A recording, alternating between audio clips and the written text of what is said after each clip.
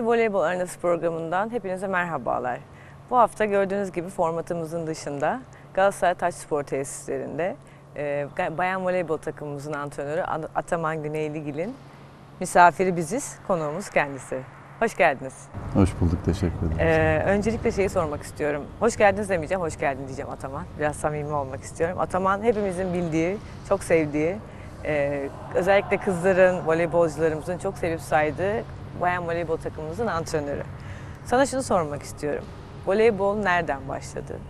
Daha sonrasında bayan voleybol takımı antrenörü olmak nereden aklına geldi? Ya, voleybol nereden başladı? Voleybol ilkokulu bitirdiğimiz zaman benim babam e, deniz subayıydı. Emekli oldu o dönem. Beykoz'daydı görev yeri. Bu tarafa döndük. E, Acıbadem tarafına. O da eski bir voleybolcu e, kendisi. İşte Sami Baba aracılığıyla Altunyur'da beni başlattı. Altunyurt Spor Kulübü'ne.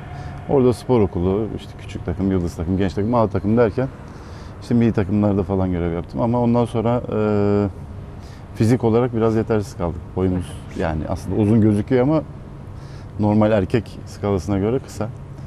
E, voleybolculara göre kısa. Voleybolculara göre. E, antrenörlük yapmaya karar verdim. O sırada okula da başlamıştım. Marmara Üniversitesi Beden Eğitimi Spor Yüksek Okulu'na. Hem spor okulu antrenörlüğü yapıp hem e, genç takım, A takım oyunculuğu yapıyordum. Yani 16-17 yaşında başladım aslında antrenörlüğe. Sonra bir karar vermem gerekti. E, oyunculuk mu, antrenörlük mü? Ben antrenörlüğü seçtim. Oradan Vakıfbank e, kulübüne transfer oldum. Bu arada Kuleli Asker Lisesi'nin bir okul takımı vardı. Onlarla beraber çalıştık. 2 sene, 3 sene kadar.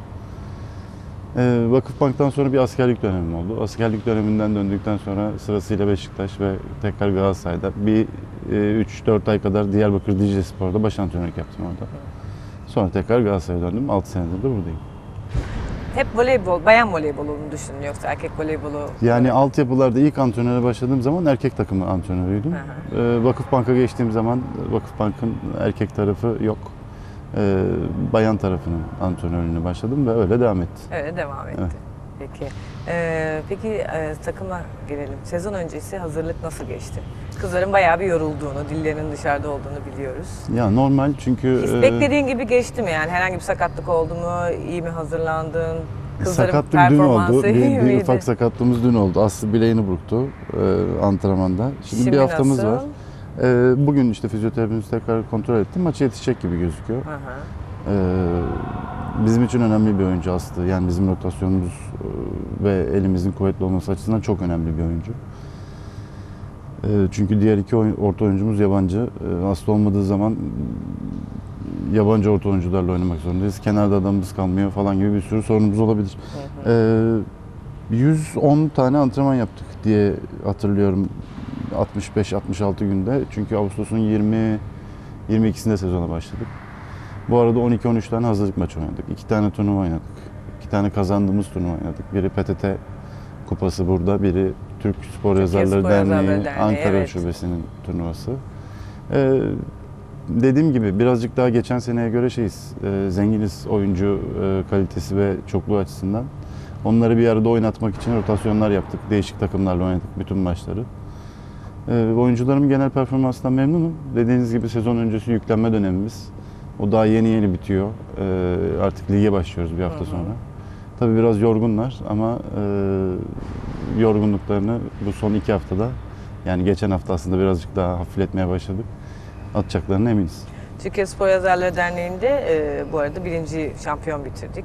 E, 3-0, 3-0 ve 3-1 Halkbank'ı yenerek. Nasıl oynadı kızlar? Ya iyi oynadılar ama e, kopukluk oldu bazı maçlarda ara ara. Yani çok fazla sayı seri verdiğimiz maçlar oldu. 5 sayı, 6 sayı arka arkaya. Bunun karşısında 7-8 sayı aldığımız oldu. Yani e, bazı maçlar böyle olabiliyor ama üst düzey mesela Sevkap yarı final finalinde, e, çeyrek finalinde ya da ligin playoff'un final etaplarında bunlara e, kimse izin vermiyor. Yani hiçbir takım. Size 4 sayı 5 sayı seri yaptıkları zaman setin sonuna kadar o farkı korumayı biliyorlar. O yüzden bunları e, minimuma indirgememiz Minimuma. gerekiyor. Evet.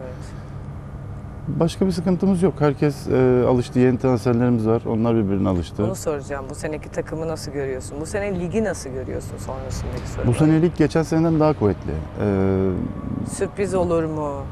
Değişik beklentiler, diğer Ya takımlar. olabilir. Yani Bursa Büyükşehir Belediyesi, Sarıyer, e, Seramiksan, Halkbank çok iyi takımlar kurdular. Yani bu takımlar şöyle söylüyorum ben. Bu takımlar 7-8 sene ya da 10 sene evvel Türk voleybolunu kurulmuş olsaydı bu kalitede takımlar ilk üçe belki final oynayacak takımlardı ama e, Türk voleybolunun da kalitesi sponsorlarla beraber çok yükseldiği için dünyanın en iyi yabancı oyuncuları, Türkiye'nin en iyi oyuncuları hepsi bir arada dünyanın en iyi ligini oluşturdular. Dolayısıyla e, ne kadar iyi takım kurarsanız kurun, sizden daha fazla yatırım yapan, sizden daha fazla e, oyuncu transfer eden, iyi oyuncularla oynayan takımlarla e, başarı mücadelesi yapmak zorundasınız. Bunları bunu e, Bursa'da yaşıyor, Sarıyer'de yaşıyor, biz de yaşıyoruz. E, Çanakkale Halkbank'ta yaşıyor. Bütün takımlar yaşıyor ama bütçe olarak baktığınız zaman evet bütçeler çok arttı ligde. Özellikle bayan tarafında bütçeler çok arttı. Biz herhalde yine geçen seneki gibi 7. 8. sıradayızdır bütçe konusunda ama çok memnunuz. Yönetimimize tekrar teşekkür ediyorum. 2-3 tane çok önemli transfer istedik ve onları gerçekleştirdiler. Geçen seneki takıma baktığımızda bu sene takım nasıl görünüyor? Ee, Daha oturmuş, daha bir arada oynayan bir takım oldu bir kere. Çok az ya oyuncu. geçen sene öyleydik gitti. evet. Ee, çok fazla bir arada oynayan bir takımımız vardı. Çok az hata yapan. Şimdi bu sene bunun üstüne e, iki tane yabancı orta oyuncu e, tercih ettik. Pasör çaprazımız ve e, Belçikalı smaçörümüz Charlotte takımda tutmayı tercih ettik. Şimdi e, Seda çok önemli bir oyuncu. Seda Tokatlıoğlu, Aslan Yürek o katıldı e, aramıza. Şimdi baktığınız zaman çok fazla bir e, rotasyon imkanımız oldu. Yani iki yabancı orta oyuncuyla oynayabiliriz. E, pasör çaprazına Seda'yı koyup oynayabiliriz. Seda'yı smaçör olarak kullanıp tek pasör çap, tek orta oyuncu Daha rahatsın Nadia ile oynayabiliriz. olarak. Evet, bunların hepsini denedik zaten bu Aha, e, turnuvalar boyunca. turnuvalarda. Hemen hemen 6 maça da farklı kadroyla çıktık. Yani Süper. iki turnuvayı düşündüğümüz zaman. Ama sonuç e, saha içindeki odaklanma, saha içindeki galibiyet isteği, yardımlaşma bütün e, farklı takımlarda da aynı şekilde oldu. Ondan mutluyuz. Peki şeyi soracağım. Takımda kızların uyumu ve ahengi çok belli dışarıdan. Çok birbiriyle oynamayı seven kızlar. Dışarıda şakalaşmayı çok seviyorlar. Ee, Aslı'nın birkaç tane şeyini izledim, videolarını izledim. İnanılmaz eğlenceli, dışa dönük şarkı söyleyen bir kız. Bu kadar bir arada olmaları, taç sporda antrenman yapıyor olmaları, seni bu kadar seviyor olmaları çok önemli bir şey. Bu nasıl oldu? Ya çok önemli. Onların e, Önemli çünkü bayan takım antrenörü olmak gerçekten kolay bir şey değildir. Biz Değil, yaşadık evet. bunu yıllarca. Yani kızların kaprisleri olur, niye oynatmada olur, ee, antrenörle mutlaka bir gerginlik yaşanır ama herkesin konuştuğu bir tek şey var. Galatasaray Bayan Voleybol takımı çok iyi antrenman yapıyor ve antrenörleriyle uyumu ve birbirleriyle uyumu çok iyi. teşekkür ederim. Kolay Sağ değil olsunlar. bunu yapmak. Ee, çoğunu oyuncuların 14-15 yaşından beri tanıyorum. 14-15 yaşından beri çalışıyoruz. Yıldız milli takımlarda oldu, bazılarıyla Galatasaray'da oldu, sonradan transfer oldular. Ee, çok çocukluklarından beri tanıdığım için artık nerede ne tepki göstereceklerini ya da nerede ne yapacaklarını çok iyi biliyorum. Bunun en önemli örneği Gamze'dir. Ben e, Gamze'nin hareketinden bazen yürüyüşünden e, hangi psikolojide olduğunu çünkü pasörünüz Tabii. çok önemli. Nursevil de keza öyle. Gamze ile biraz daha evvelim var. Yani T Yıldız milli takımdan itibaren beraber çalıştığımız için Gamze artık nerede nereye pas atacak, nasıl atacak, psikolojisi nasıl, kafası nasıl çalışıyor. e, bunların hepsini daha önceden görebiliyoruz. Bu çok önemli zaten. Tabii çok önemli ve pasör artık o da beyni. e, benim ne istediğimi biliyor ve hani ekstra bir şey söylememe bile gerek kalmıyor bazen. çok Gamze'ye. önemli gerçekten. Bir de çok önemli iki tane oyuncumuz var. Nadia ile Nihan. Onları değinmeden geçemeyeceğim. İki tane kaptanımız. Ee, 35 yaş sınırındalar. Belki 2-3 sene sonra, belki önümüzdeki sene artık sahalarda göremeyeceğiz ama şimdi maç öncesi ısınmalarına baktığınız zaman atıyorum. Bir tane yeni başlayan adama, iki tane çocuğa top vermişsiniz.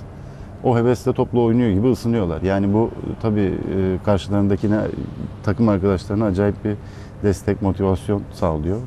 Yani çocuk gibi oynuyorlar. Maç öncesi ısınıyorlar. O zevkle, o şeyle sanki topu alacakmışsınız ellerinden de bir daha hiç vermeyecekmişsiniz gibi. E bu tabii herkes de sirayet ediyor. Bizim takımımızda 18 yaşında e, oyuncumuz da var. 18-19 yaşında. Altyapıdan getir çıkardığınız oyuncularınız Işıl var mesela en gencimiz. O 17-18 yaşında. E, onlar Işıl mesela bunu gördüğü zaman mutlaka kafasında evet bunu bu işin böyle yapılması gerekiyor diyordur. Her zaman ablalar çok önemliydi. Yani e, transferlerde çok konuşuluyor. Nadia'nın çok iyi bir abla olduğu, anne gibi olduğu, kol kanat geldiği ve öğretmeye çok açık olduğu. Yani evet iyi karakter, iyi karakter burada önemli. İyi voleybolcu olmak başka bir şey. Bir de karakterli olup alttan gelenlere, diğerlerine örnek olmak e, çok konuşulan bir isim Nadia bu anlamda. Nihan çok zor bir iş yapıyor. Hem menajerlik hem sporculuk Evet. yapıyor. E, Nasıl etkisi oldu takıma Nihan'ın? Böyle bir e, rolde olması. Ya Nihan zaten geçen sene de bu işi yapıyor gibiydi. Bu sadece e, Takıma ne katıyor? Onu söyle. yani ablalık yapıyor zaten. Hı hı. Bu takıma yani değişen bir şey yok. Ne Nihan'ın açısından ne takım açısından diye görüyorum. Çünkü geçen sene de bu işi yapıyordu. Bu sadece e, yaptığı işin aslında resmileştirilmiş bir adı konulmuş hali. O yüzden çok fazla bir değişiklik yok. Geçen sene de e, aynı sorunlarla uğraşıyordu. Sorun olduğu zaman ya da e, derdimiz olduğu zaman bunu yönetime iletme konusunda bize yardımcı oluyordu. Bu sene daha e, birinci ağızdan yapıyor o kadar. Bu aslında çok güzel bir e, yer olmuş yani sporcu için. Çünkü biz zamanında hiçbir zaman derdimizi, sıkıntımızı, problemimizi yöneticimizle paylaşamazdık. Yöneticimize gitmezdi bile herhangi bir sorunumuz olduğu. Şimdi böyle bir statüde olunması, Galatasaray'ın bunu başlatmış olması hem erkek hem bayan voleybol takımında çok büyük bir ekstra. Şimdi bizim için burası taç spor testleri çok önemli bir e, olanak oldu. Şu bakımdan e, biz burada antrenmanlarımızı yapıyoruz. İşte Şükrü abi burada, Mehmet abi burada, Neslihan burada. E, zaten birebir her şeyimizi e, takip ediyorlar. Görüyorlar. Oyuncularla diyalogları çok iyi. Yani çok büyük bir aileyiz aslında burada. O yüzden de e, Nihan ve Can'a erkek takımında Can oldu biliyorsunuz. E, çok fazla bir e, iş düşeceğini sanmıyorum. Onu soracaktım tam yönetimle aranız nasıl diye. Zaten yönetim her zaman yanınızda ve destek Ee, ve her zaman da iyi işler yapıyorlar ve bunu bilmek çok önemli. Evet. Hem oyuncu olarak hem antrenör olarak. O yüzden tebrik ediyorum Galatasaray yönetimini. Teşekkür olun. Tekrar merhaba sevgili izleyicilerimiz. Ee, çok önemli bir gelişmemiz ve bir başarımız daha var. Onu da atlamadan geçmek istemiyorum. Ee, kıtalar arası Kulüpler Dünya Şampiyonası'nda Eczacıbaşı Bayan Voleybol takımımız e, dünya şampiyonu oldu. Vakıfbank Güney Sigorta takımımız da üçüncü oldular. Onları da buradan kutluyoruz, tebrik ediyoruz. Ne düşünüyorsunuz hocam maçlarla ilgili? Seyredebildiniz mi? Seyrettim. Eczacıbaşı geçen sene de dünya şampiyonu takımımızdı. Evet. Bu sene çok daha kuvvetli bir takımla gittiler oraya. Yine e, ben Türk takımları arasında kalacağını düşünüyordum zaten.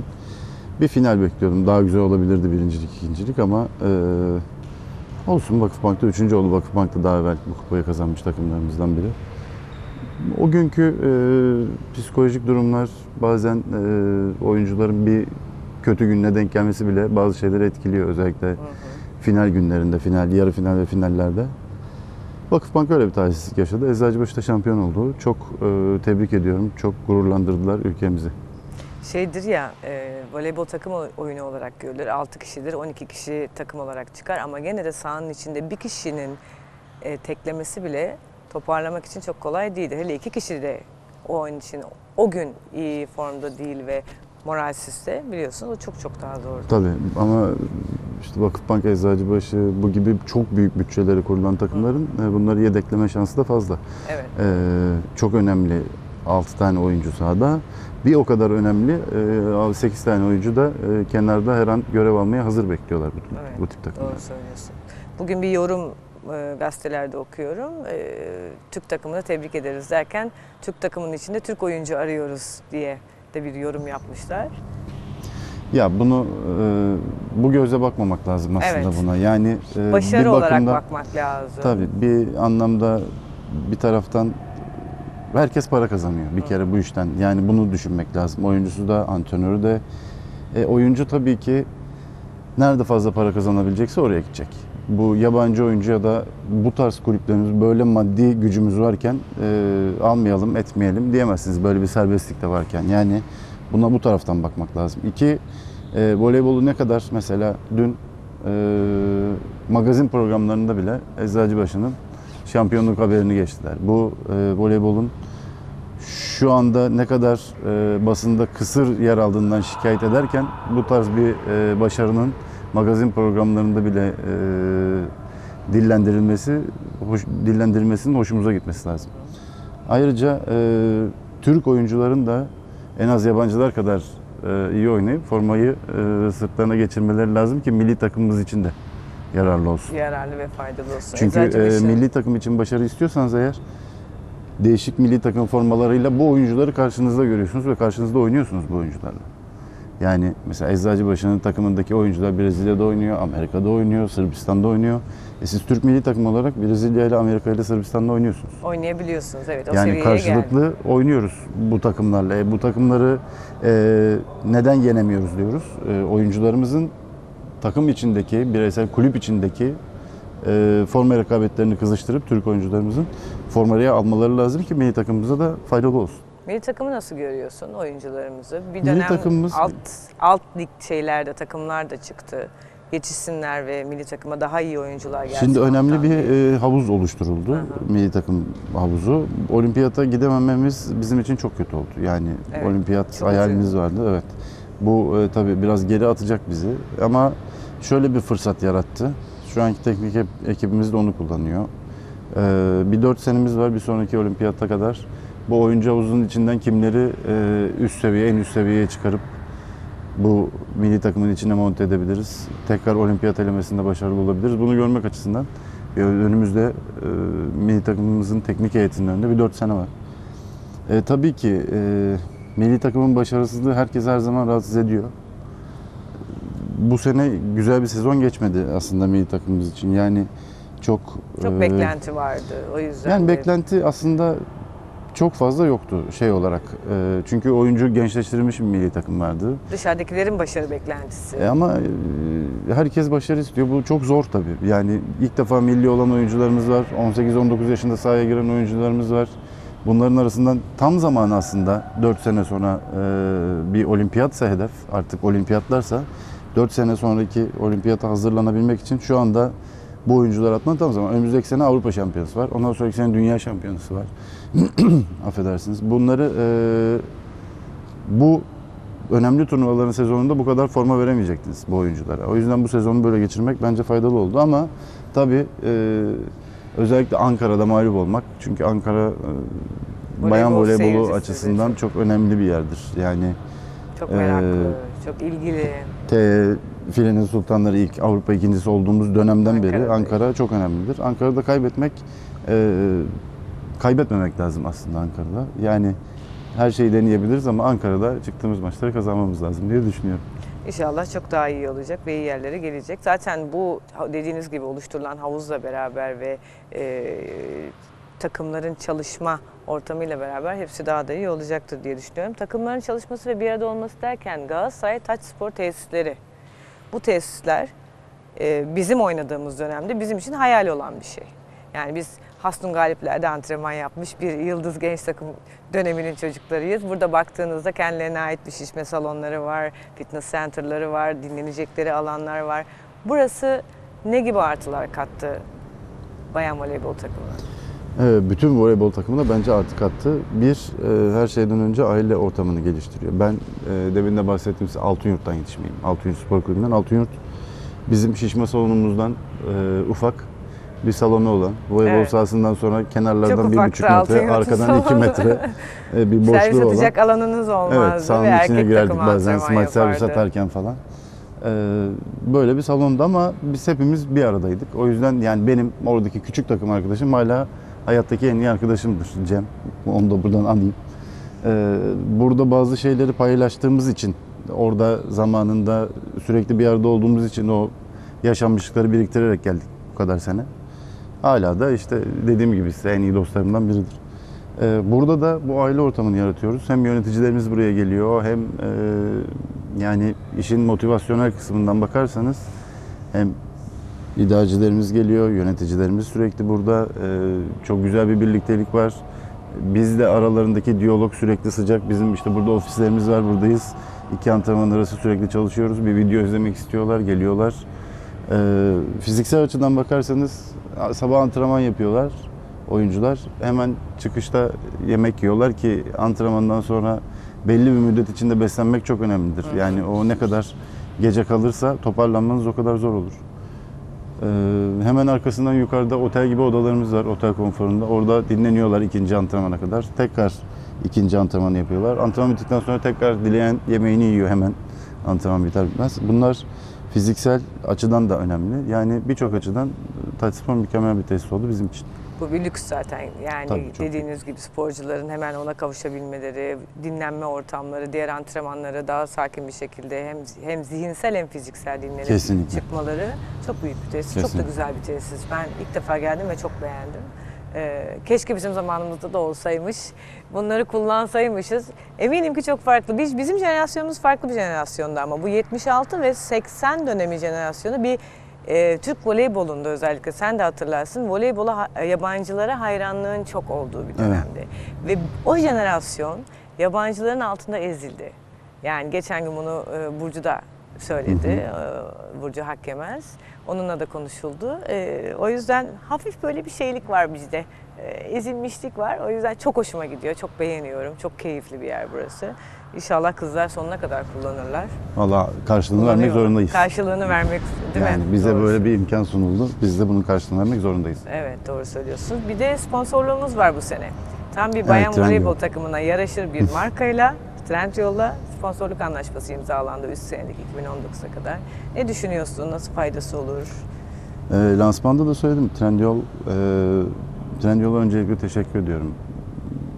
Spora yatırım yaptıkları için. Sonra tekrar teşekkür ediyorum voleybola yatırım yapmak için, yaptıkları için. Minnettarız. Bizi seçtikleri için Galatasaray Bayan Voleybol takımını. E, çok önemli bir, hatta lider bir e-ticaret markası. E, iki tane lider firmanın gücünü, ismini birleştirmesi gibi oluyor ve e, bizim hareket kabiliyeti açısından e, önemli olan maddi gelirlerimize bir yardımcı, bir destek olmuş oluyor Trendyol. E, kendilerine teşekkür ediyoruz. İnşallah formamızda en üstün başarılarda onların da yeri olacak. İnşallah göğsümüzü geri geri Trendyol'a taşıyacağız Galatasaray Bayan Voleybol takımı olarak. Altyapılar nasıl? Altyapıları sormak istiyorum sana. Çok iyi görünüyor. Altyapılarımız evet iyi. Biz e, ben özellikle iki senedir şöyle bir e, karar aldım. Buraya geldikten sonra yani baş antrenör olduktan sonra her sene minimum bir tane e, oyuncuyu altyapımızdan A takıma çıkaracağız. Yani 14 kişilik kadronun içinde tutacağız Şahane dedik. bir karar. E, bunu iki senedir yapıyoruz. Önümüzdeki sene de inşallah aday oyuncularımız yani şu anda 4-5 tane aday oyuncumuz var. Mutlaka bir tanesini belki iki tanesini çıkaracağız. E, şu anda e, 14 tane oyuncumuz var. Bunun 8 tanesi altyapılarımızda oynamış oyuncular. Bir bu kadarı 10-12 tanesi hatta belki daha fazla hatırlamıyorum şu anda tam rakamı çalışmam lazım. E, ikincilik, birincilik takımlarında kiralık olarak oynuyor. E, bazısı Evet öyle bir çift sistem lisans olarak varmış. Onu oynuyor. da bir açabilirsen Ee, sonra. bunları bize. tekrar orada gözlemleyip geri alma durumumuz olabilir. Çünkü e, mülkiyetleri Galatasaray Spor Kulübü'ne ait. E, kiralık olarak oynuyorlar, tecrübe kazanıyorlar ikincilikte, birincilik takımlarında. E, buraya ötüyor, atıyorum önümüzdeki sene bir tane, iki tane oyuncu çıkardığımız zaman şu anki kadromuzda olan bazı oyuncular o havuzun içine dahil olacak ve oradan belki önümüzdeki sene mesela bu sene Bihter için bunu deniyoruz. Önemli isimlerimizden biri. Beşiktaş Spor Kulübü'ne kiraladık. Önümüzdeki sene kadromuza düşüneceğimiz oyunculardan biri. Ee, güzel de performans gösteriyor. İlk maçlarını onlar oynadı. Trabzon İdman Ocağı'nı yendiler 3-1. Çok da iyi bir performans göstermiş. Ee, bazı oyuncuların bazı mevkilerin oynayarak gelişmesi lazım. Libero, pasör bunlar çok önemli mevkiler bunun için. Ee, Bihter'den o bakımdan çok umutluyuz önümüzdeki seneler için. Mesela bu ufak bir örnekti Bihter. Bu Çift lisans denen bir sistem var dedin Yok değil mi? Bihter çift lisanslı değil. Bihter direkt birincilik takımlarından birinde kiralık olarak oynuyor. O kiralık Bir oynuyor. de çift lisans sistemi var. Çift lisans sistemiyle şu anda bir tane oyuncumuz var. Yaş bizim. sınırı var mı bu çift lisans Var. sisteminde? Ha. Ee, 23 galiba yaş sınırı. 23 yaşından büyükler gidemiyor çift lisans olarak. 23 yaşından küçük oyuncular gidebiliyor. Bizim Suzent e, ad- adında bir oyuncumuz var. Orta oyuncumuz. Geçen sene bizim takım kadromuzdaydı. Bu sene yine hem maç e, tecrübesi kazanması hem e, birazcık daha fazla antrenmanda süre alabilmesi için onu e, çok önemli bir antrenörümüz, Türk voleybolu için çok önemli bir antrenörümüzün takımı Beylikdüzü oraya gönderdik. Ee, çok da iyi performans gösteriyor. Onlar da iki tane maç yaptılar, ikisini de kazandılar. Missina orada yine geçen sene bizim A takımımızda, A takım kadromuzda 14 kişinin arasında olan bir oyuncuydu. Onu direkt kiralık olarak e, oraya gönderdik o kiralık havuzunda. Ama su hem e, Beylikdüzü'nde oynayabiliyor hem bizim lig maçlarımızda bizim 14 kişilik kadromuzun içinde olacak. Aynı güne denk gelmediği sürece Aynı güne hem denk orada gelmediği oynuyor sürece hem aynı de- güne denk gelme e, durumunu da federasyon engelliyor. Yani eğer çift lisans Anladım. oyuncu varsa ikinci Ben ligin ona bayan maçlarını cumartesiye koyuyor. Birinci ligin bayan maçlarını pazara koyuyor. İkinci devre tam tersi değiştiriyor. Böyle kolaylıklar yapıyor federasyon. Çok iyi bir şey. Yani önümüzdeki sene bayağı tecrübelenmiş bir şekilde senin kadrona dahil olacaklar Tabii. inşallah. Yani biz daha geniş 20-25 kişilik yani şu anki oyuncu kadromuzun üstünde kiralıklarımızı da katarsak 20-25 kişilik bir e, oyuncu havuzunun içinden Hı hı. e, oyuncu seçiyoruz Çok e, takımımız için. Peki burada oynanan maçlarda atmosferler nasıl? Valla harika yani burası e, iple çekiyoruz işte pazar günü ilk maçımızı oynayacağız. Yine e, tamamen doluya yakın bir seyirci olacağını düşünüyoruz. Burası e, inliyor. İnmiyor. Maçlarda tabii. E, seyircilerimiz hiç susmuyor. Zaten kemik bir seyircimiz oluşmaya başladı. Ben birkaç Ee, resim gördüm o yüzden sordum bunu. Taraftarlarla aran iyi gördüğüm İyi iyi. kadarıyla. Bir Uğur abimizin bir grubu var. Onlar sağ olsun Evet. e, sürekli takip ediyorlar. Ha. Geçen sene e, Final Four'da başka bir örnek vereyim size. Final Four'da İzmir ve Ankara etaplarında iyi oyun oynamamıza rağmen e, rakiplerimize karşı hiç kazanamadık. 3-2, 3-2 bir sürü maç oynadık. E, Ankara'da son maç bitti. Otobüse bindik. Buraya döndük. Tesise girdiğimiz anda 200'e yakın gece saat 2'de e, burada bir Anadolu yakası Buraya indi. Evet Ultra Aslan seyirci grubunun bir Anadolu yakası e, Grubu var. özelinde grubu var. O grup bizi böyle meşalelerle falan filan karşıladılar. Sezon bitmiş, her şey bitmiş, Bitmiş. ama yani o bile insanı mutlu ediyor. Hmm. Tabii bunlara layık olmak gerekiyor. Geçen sene olduk. Olduğumuzu düşünüyoruz. İnşallah bu sene e, yanına bir kupayla layık oluruz bunlara. Birkaç tane resim gördüm çünkü şey taraftarlarla beraber senin selfilerin var işte. e, Bize çok fazla destek çok veriyorlar her yerde. Yani hem sosyal medyadan hem geliyorlar, antrenmanlarımızı izliyor. Bizim antrenmanlarımız açıktır.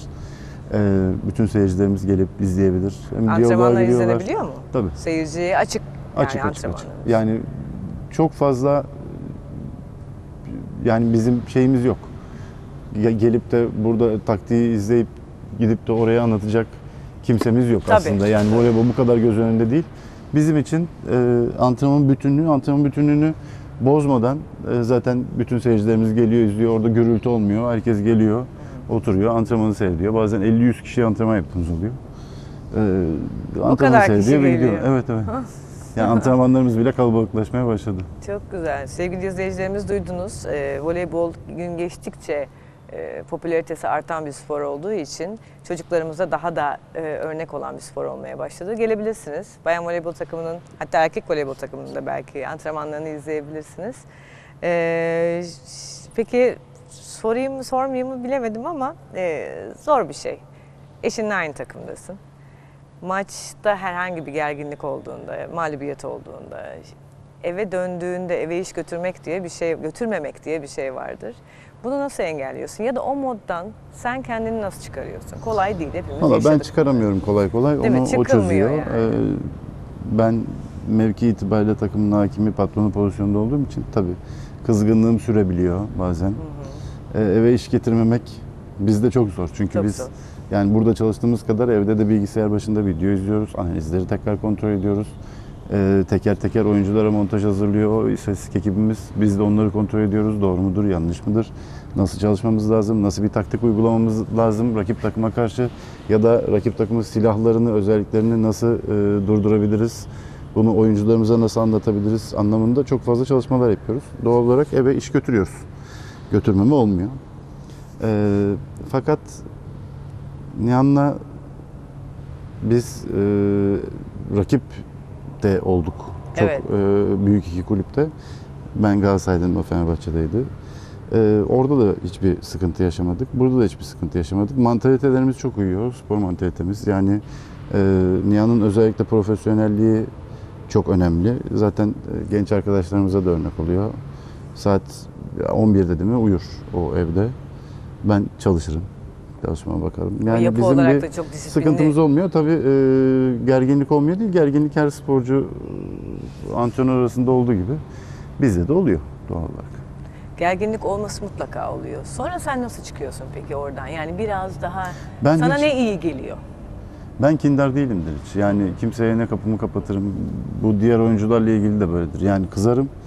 Benim kızdığımı anlarlar ama o ertesi antrenmana geçer. Onu unuturum. Tekrar yaptığı zaman tekrar kızarım. Yani yapılmayacak bir şey varsa ki ben hataları ikiye ayırırım. Mental hata ve e, taktiksel hata diye. Oyuncunun servis kaçırması, e, hücumu avuta vurması, blok yemesi, file hatası yapması, çizgiye basması, saha içinde yaptıkları bütün hatalar bana aittir. Yani ben bunu onlara da söyledim. Bu teknik ve taktik bir eksikliktir. Bunun sorumlusu antrenördür. Ama e, atıyorum dublaja girmesi gereken yerde girmiyorsa ya da belli bir yerde durması gerekiyorsa durması gerekiyorken orada değil onun işte Başka 2 bir metre yanında e, dolanıyorsa bu mental bir hatadır. Bunun sorumlusu da antrenör şey oyuncudur. Ve ben bunu affetmiyorum. Yani bu e, bizde böyle. Onlar da bunu biliyor. Yani oyuncuların kafası her zaman en doğruya çalışmalı. E, teknik taktik eksikler olduğu zaman onları da biz halletmeliyiz. Çünkü Aslında. bu- oyuncu kafası eğer e, bu mental hataları en aza indirgerse siz teknik taktik olarak oyuncuya bir şey katabiliyorsunuz. Sen de, de bunu katabilecek karakter olduğunu Teşekkür hepimiz ederim. çok Sağ çok iyi biliyoruz ve saygı duyuyoruz. Ee, voleybola bakarsan nereden nereye geldi? Yani e, eskiden telefonla işte ilk hangi ilk altı çıkıyor? Ona göre gardımızı alalım önümüzdeki hafta oynayacağız. Pozisyonlar neler kimin neler? Şimdi biri gidiyor stafftan biri karşı tarafı izliyor CD'ler çekiliyor CD'ler kızlara dağıtılıyor herkes e, neyi çalışması gerektiğini çok çok iyi biliyor bakar mısın daha da neler Yani olacak artık kim sayı sayı e, sayı sayı takip çalışılıyor. ediliyor Yani Evet. bir tane maç da değil. Yaklaşık 10 tane 12 tane maç üstünden çalışıyoruz. Şimdi sezon başı işte hazırlık maçları oluyor. Ondan sonra ligin ikinci devresi lig. Mesela bir takım atıyorum Vakıfbank'la oynayacaksınız. Vak- Vakıfbank'ın birinci devre oynadığı bütün maçlar artı Avrupa Kupası'nda oynadığı maçlar. Bunlar e, 13-14 tane maç ediyor. Bütün bu 13-14 tane maçın alıp montajlarını yapıyorsunuz tek tek oyuncuların. Evet. Bizim e, scout ekibimiz yapıyor. Atıyorum oradan bir ön oyuncu işte nereden nasıl sıçramış, hangi pas atılmış, pas nereden atılmış, hangi hızda atılmış, onu hangi, hangi bölgeye şeyle vurmuş, ortalamayla oraya oynuyor. hangi sayılarda değil mi? hangi şeyini tercih etmiş. Yani main hata nedir, e, tercih ettiği kritik yerlerde yaptığı ataklar nedir? Bunların hepsi çalışılıyor. Ve tabii çok detaylandı böyle olunca. Ama bu detayları biz minimuma ve e, özüne indirip oyunculara verme taraftarıyız. Çünkü ben bir saatlik, bir buçuk saatlik toplantılara karşı ben e, toplantımı yarım saat, 25 dakika, yarım saat yapıp böyle haftada 3-4 tane yapıyorum. Ki hani Ana konuyu söyleyip dikkatleri dağılıyor. Çünkü sporcu hareket etmek istiyor, e, antrenmana gitmek istiyor, maç oynamak istiyor. Yani Çok hareketli çok sabit olmayı insanlar, insanlar Onları değil. oturtturup bir yere yarım saat ya da bir saat bir şey anlattım mı o yarım saatten sonrası bence artık ya şey anlıyorlar belki dinliyorlar ama konsantrasyon ilk 5 dakikadaki 10 dakikadaki ya da yarım saatteki gibi olmuyor. Doğru. Bunu bizi okulda bir e, doktor hocamız vardı o şey yapardı. Travmatoloji hocamız başlardı 20 dakika 25 dakika anlatırdı sonra giderdi. Bir gün sorduk hocam neden böyle diye. Ben dedi tıp fakültesinde de ders veriyorum dedi. Onlara dedi 6 saat anlatırım. Onlar da 6 saat alır hiç şey yapmadan ama dedi sizi dedi 20. dakikadan 25. dakikadan sonra dedi kafalar Doğru. dedi oynayacağınız oyuna gidiyor, topa gidiyor, başka şeylere gidiyor. Siz sporcusunuz. Sizin dedi konsantrasyonunuz 20-25 dakika oturtarak Oturtarak. konsantrasyonunuz yarım saat. Bunu e, geçmemem lazım. Kendimi yoruyorum derdi. Biz şimdi e, toplantılarımızı öyle yarım saat, 35 dakika bazen maksimum. Ama haftada 3-4 kere olarak yapıyoruz. Ve e, en özünü rakiplerimizle ilgili oyuncularımıza vermeye çalışıyoruz. Ne mutlu ki hem seni eğitenlerden hem de e, hem hocalarından hem de sen kendi yaşamış olduğun tecrübeden e, deneyimlerini aktarıyorsun kızlara. Çok Evet, önemli. sağ çok çok sağ önemli. Arkanda da çok ciddi bir e, staff var. Onlara Evet. da buradan teşekkürlerimizi iletelim. Çünkü kızlara ve sana çok yardımcı oluyorlar. Kesinlikle. Onlar görünmeyen kahramanlar bir yerde. Evet. O yüzden e, onlara sevgilerimizi iletiyoruz. Bu hafta programımıza konuk olduğunuz için çok çok teşekkür ediyorum Otoban Ben Hocam. teşekkür ederim. Önümüzdeki maçlarda güzel galibiyetler sonrasında sizi tekrar konuk etmek istiyoruz. İnşallah teşekkür İnşallah. ederim. Ee, bu haftaki programımızın sonuna geldik. Önümüzdeki hafta yeni bir voleybol arenası programında görüşmek üzere.